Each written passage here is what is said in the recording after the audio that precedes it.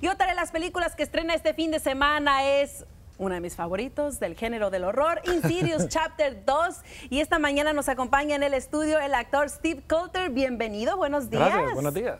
Que me encanta que habla muy bien el español, la verdad que sí.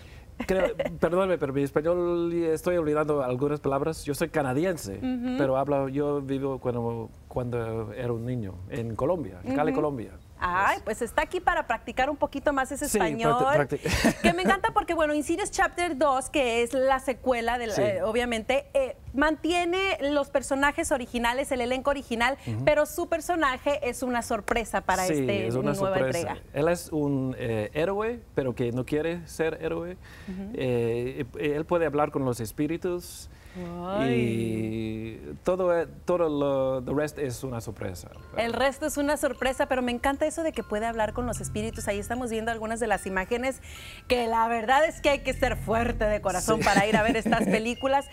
Nada que ver su personaje con la vida real, digo, no tienes, nunca has tenido ningún tipo de experiencia paranormal, ¿o sí? sí cuando yo fui en universidad, una noche eh, estoy sentando en mi escritorio y eh, un sensor de frío y mi amigo que atrás dice que, Steve, no se mueva, es algo muy malo. Y yo dije, ¿qué? Y yo tenía una eh, eh, fotografía de mi novia en el escritorio y él, se dice, look at that, vía a la, la, foto? la foto y piensa de todo bueno y amor y esto.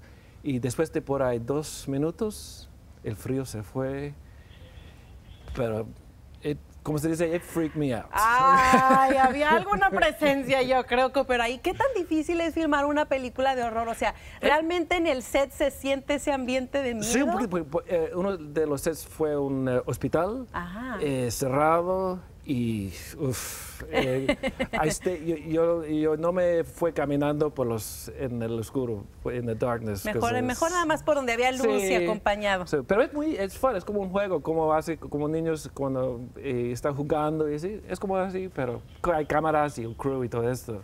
Pero también, uh, I don't go into the dark. mejor uh, no.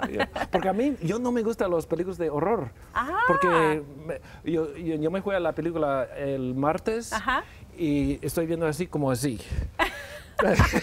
Porque es, muy, es como, eh, ¿cómo se dice? Una montaña de rusa. Una montaña rusa de sentimientos. Es, como eh, Exorcist y, y, Ghostbusters 2 también.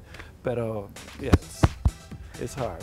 Insidious Chapter 2 estrena este fin de semana. Muchísimas gracias, Steve, por estar con nosotros.